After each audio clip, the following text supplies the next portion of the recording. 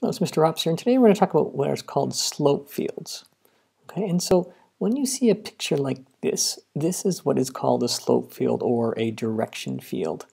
And so what this is a representation of is at this particular point here at 1 comma 2, the slope of the tangent is this. This value here is a graphical representation of the slope of the derivative at that point, the rate of change. And so I know the curve, oh, if there's going to be a curve here, I know it's just going to like touch there. It would not go through it because that's not how tangents work. And so this here is some kind of visual representation. So every single point here, the derivative was calculated and shown as little lines of some sort. And that's what a direction field is. It's all the slopes of the tangents of every single point on the grid. Okay, so let's actually do uh, an example here. So if I'm given a differential equation, such as dy over dx equals x minus y squared plus 2, we know it's a differential equation because there's a derivative in it, and, the, so, and we want to know if it's separable or not. And so this is not just a pure integration problem because I have both x and y over here. I want to know if it's a separable differential equation. If it's separable, that means I can have y dy of some kind of y equal to some kind of thing dx, where it is multiplication between this function y and dy, and it's multiplication between this function and x and dx.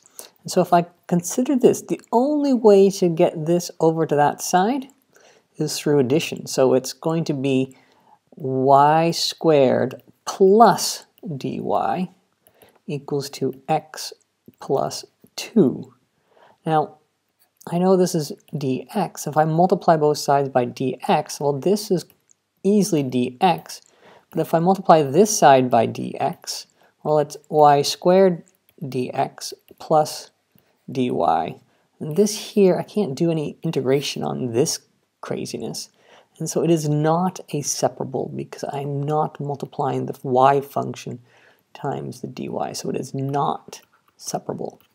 And so if it's not separable, at this point in time, and for this course, we have no way to actually analytically calculate the solutions to this equation. And so we have to fall upon graphical approximations.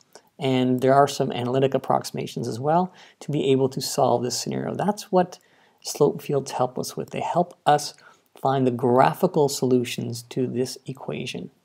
All right, so, okay, so given this particular differential equation, we know it's not separable, and so can't actually analytically find the value with our skills.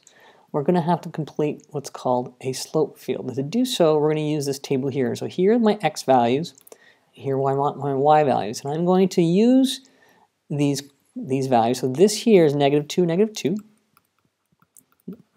And I plug it into my derivative, and that will give me the derivative at that point. So the gradient, the slope of the gradient of that point. So I go negative 2, subtract negative 2 squared plus 2 ends up giving me a negative 4. So this is negative 4. I go to the next point where x is negative 1 and y is negative 2, going to this particular cell here. Substitute it into dy dx, and I can see that my x is negative 1 minus negative 2 squared plus 2 gives me, well, that's going to be 1 minus 4, which is equal to negative 3 and this will end up being negative 3. And I go through each point individually, and you'll start to see some of the patterns that emerge. Um, and when you go and do that for all of them, you end up with this particular table here. Okay, and so let me clear off some of this. So I see the table is. This is what I'm going to get.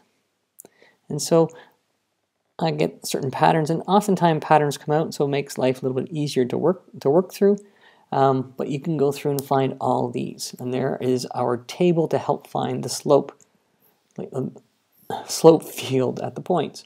Okay, so now that we have our table created, we take these values and we transfer them over to the graph. Remembering this is the x value and this is the y value in this case, the way I've set it up. And so I know for the x value of negative 2, the y value is negative 2, I have a slope of negative 4. And you just estimate the negative 4.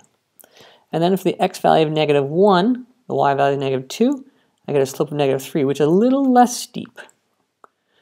Similarly, I get negative 2 for the next one, which is a little less steep again. And then negative 1 is exactly cutting the angle in half. And so, and then uh, here I get 0.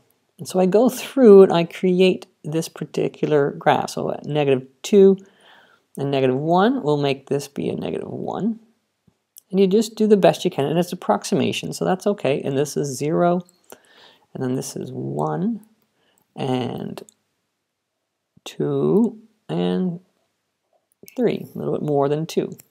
And I keep on going, I know I get x is negative 2, y is 0, I get 0, and I get 1. So now they're all done for us. This here is our slope field. We take all these values, transfer them over to here, and this is what the slope field looks like. All right?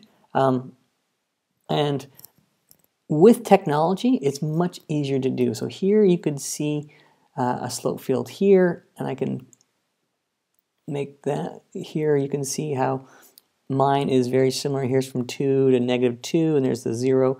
And so this slope field here is the same as what I've created. And technology is much easier to do it with, um, but the act of bringing it over you need to know how to do.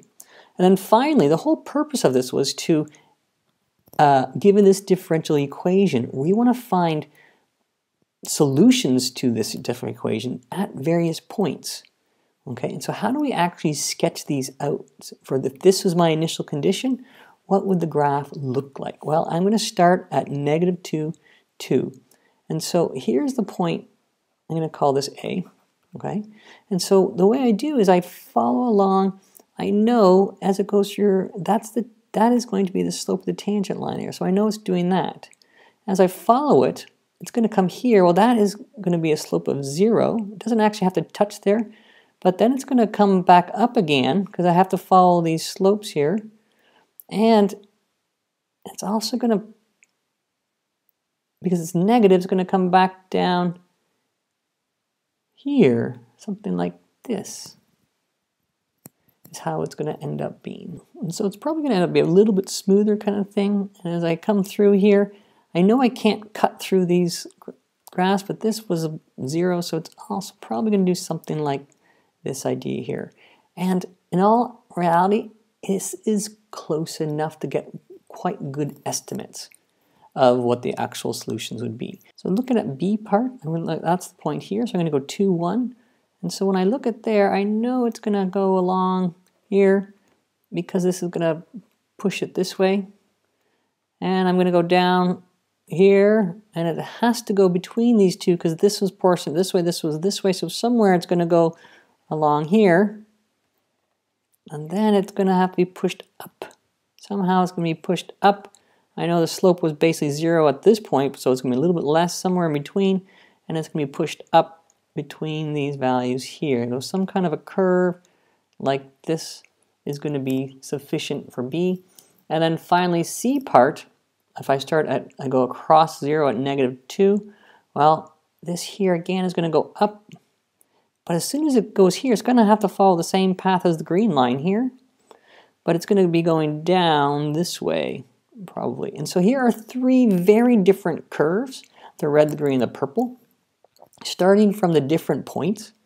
But these are the solution curves to each of these. And, they're, and it's important to recognize that they're estimates and the slope fields help us get a sense of where it's going. Um, here's an actual slope field here with the point A, that's negative 2, 2. It goes up here. Here was the second one. It kind of came down as we've done and came out this way. And then finally C part, if we see that, it comes down and then it goes on down, down, down, down.